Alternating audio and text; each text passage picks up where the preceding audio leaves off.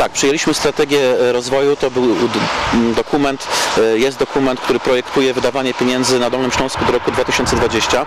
Żeby tu podać e, przykład taki obrazujący, to marszałek w 2006 roku zadecydował, że będzie 5% na drogi wydawane pieniędzy w, poprzednim, w poprzedniej strategii, natomiast teraz mamy inaczej, mamy 20% i te 5% widać. Widać, że tych środków było po prostu w ostatnich latach mimo wszystko za mało.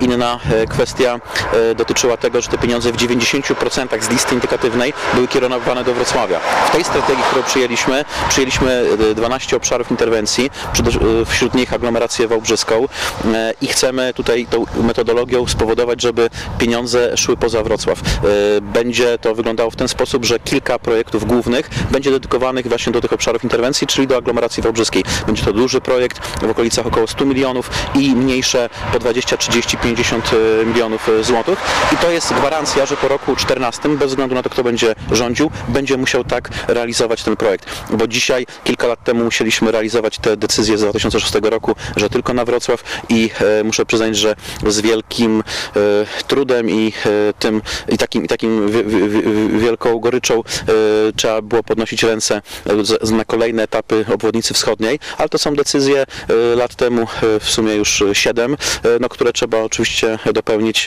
wobec Unii Europejskiej. To się zmieniło i to jest bardzo dobra wiadomość dla Wałbrzycha. Tu jest kilka kluczowych inwestycji z drogą sudecką, z połączeniem w kierunku Świdnicy poprzez Mokrzeszów, budowanie czteropasmowej drogi do Wrocławia, wcześniej z Małoszowa do Świdnicy. E, No to wszystko e, ma na celu skomunikowanie Wałbrzycha i z S3, i z autostradą A4, i z Wrocławiem. To są takie e, plany, które zostały zaklepane, zostały w tym dokumencie zapisane.